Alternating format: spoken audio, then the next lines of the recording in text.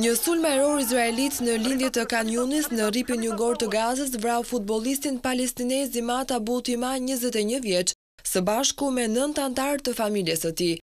Abu Tima luajti për klubin e Khan Younis dhe përfaqësoi kombëtaren e Palestinës U njëzet në vitin dy mijë e njëzet e një. Ai ishte një nga mbi katërqind atletët palestinezë të vrarë në sulmin e Izraelit në Rripin e Gazës sipas të dhënave nga Komiteti Olimpik Kombëtar i Palestinës. Në muajin korrik, Shoqata e Futbollit të Palestinës tha se të paktën dyqind e dyzet e pesë futbollistë u vranë nga Izraeli në Gaza, duke përfshirë gjashtëdhjetë e nëntë fëmijë dhe njëqind e shtatëdhjetë e gjashtë të rinj.